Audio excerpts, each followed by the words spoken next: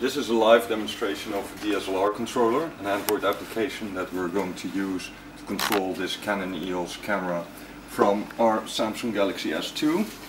To do this we need a USB host cable. This is a special cable, uh, not just anything will work. It's a USB host cable, it's also called an on-the-go cable. So let's connect it to the Galaxy. It asks us if we want to start DSLR controller. Yes we do. And here we have live view.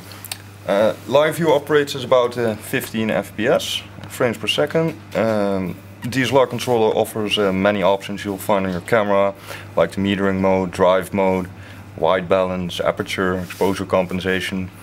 Uh, as you can see uh, here, aperture is selected. We can also modify it by using the volume buttons.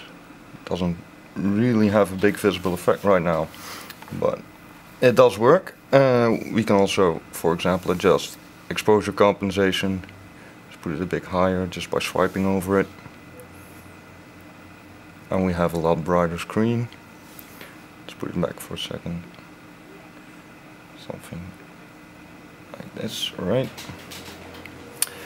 We also have support for a histogram. We can zoom in and out. Uh, we can focus just by tapping the screen or tapping and holding to select a different focus area.